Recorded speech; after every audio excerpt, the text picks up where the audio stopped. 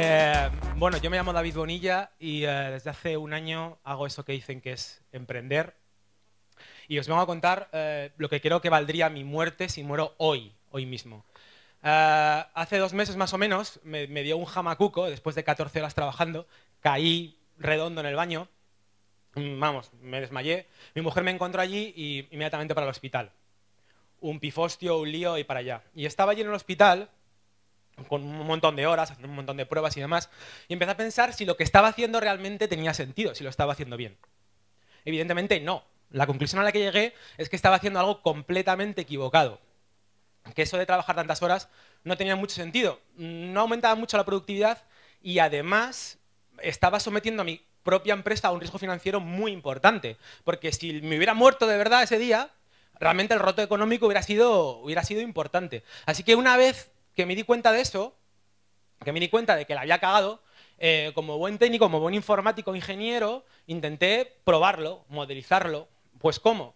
Con una fórmula matemática, por supuesto. Una fórmula matemática que cuando la ves acojona, pero realmente es más sencilla de lo que parece. Realmente está basada en cosas muy, muy, muy básicas, como el sueldo, las personas a tu cargo y los años de experiencia. ¿no? Os explico concepto por concepto. Lo primero es el tema de, tu rendimiento, ¿no? que es la primera parte. Porque parece bastante lógico que una empresa no te pague más allá de lo que se supone que produces. Esta es la teoría, aunque yo luego lo he modificado con los años de experiencia que creo que te aportan más rendimiento. Lo siguiente que tuve en cuenta es el coste de oportunidad, porque para según qué perfiles realmente cuesta encontrarlos, cuesta bastante. Y eso es lo que te cobra un headhunter por conseguir a alguien, la décima parte de tu salario.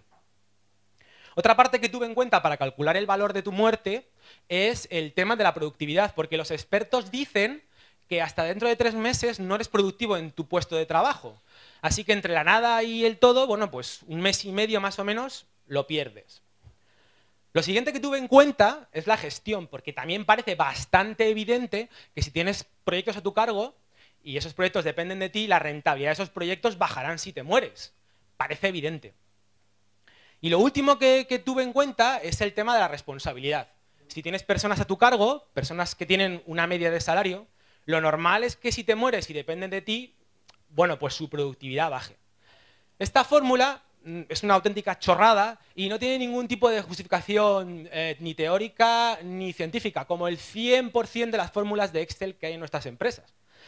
Em, al fin y al cabo no es ni más ni menos que una lista, una lista de, valores que yo creo que dan realmente valor a tu trabajo.